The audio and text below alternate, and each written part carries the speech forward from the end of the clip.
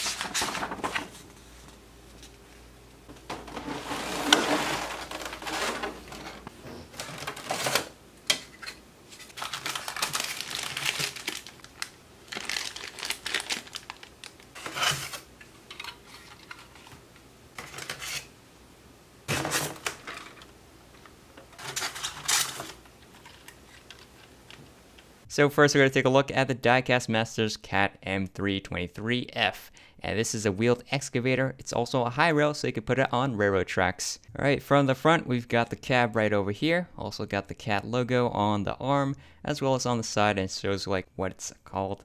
And then we have the shovel and the hydraulic system, which is actually functional, so you can also pose it. And it is stiff, so it's not going to be too loose. So here you can take a look at the hydraulic system, all the range of motion you can get. Uh, it's articulated in several different parts. And you can even uh, pull the shovel inwards like that.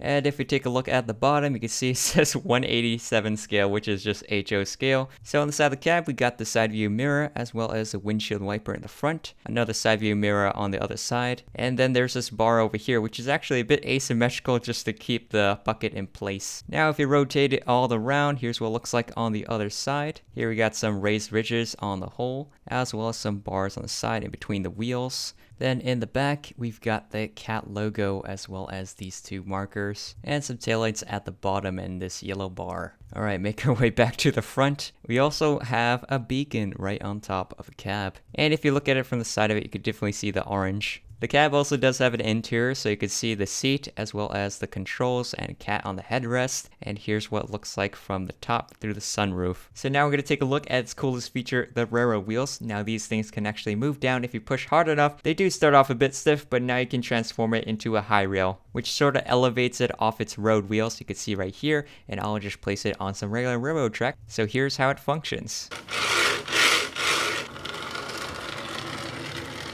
And if you want to make it go back to the road, you could simply push the railroad wheels up. And if you want to, you can switch out the attachments. So here is the bucket attachment. And this is the ballast tamper, which is a device used to pack ballast underneath, you know, railroad tracks. And here's a 360 view of it, what it looks like with it attached. And you can put this on your model train set if you want to uh, repair some tracks, for example. The third attachment is this rail clamshell bucket attachment. So yeah, here's what it looks like. It's like a crab claw. And you can use this, I suppose, to grab onto things. It also does swivel like this. So now we're going to take a look at another Diecast Masters vehicle. This is the Caterpillar Cat 12M3. The motor grader, which has this plow here just to flatten surface of the land for construction. Does have details like the cab, the back section with the exhaust. This thing also does swivel around. So here's what it looks like in the front. Swivel it back and forth and it does have some headlights right there. And the plow is adjustable to your needs, so if you want to rotate it, you can, as well as move it up and down or side to side even slightly. And here's what it looked like in action. So on the top, we got a solid orange beacon, got some interior detailing, some step up, and the chair for this one, it does not say cat on the headrest. And in the back, we have this five blade rake, which you guys can move up and down depending on how you want it, and it is stiff as usual at first break in. Alright, so now we're going to take a look at the Walthers 64 foot OTTX yellow flat car. So here in the front we got the coupler and some solid grab irons. They actually do not have holes in them. So in the bottom corner here we have a stirrup step as well as some some tiny text talking about the car, and here is the truck, what it looks like down underneath. Moving further down long, here says OTTX, the road number, as well as some information about the car. And then we have the trailer train logo, as well as a word mark for trailer train. And there also is some details here on the side. You guys can see all the little boxes on the side. It's not just flat. Then we got some more printed details about the car. So on this end of the car, we have the brake wheel, and it's actually embedded into the surface of the car, which I do like since it's flush. There also is some details with the planks, and there are actual holes on the edge of the car, so you guys can tie up stuff if you really want to. And there's also these two hollow channels going all the way across. So now I'm going to load up some vehicles like the wheeled excavator and the motor grader that we reviewed earlier before. The excavator can move around safely on top as there's enough room and the motor grader here in the back just enough. If you actually want the plow to go inside you could probably rotate it as well.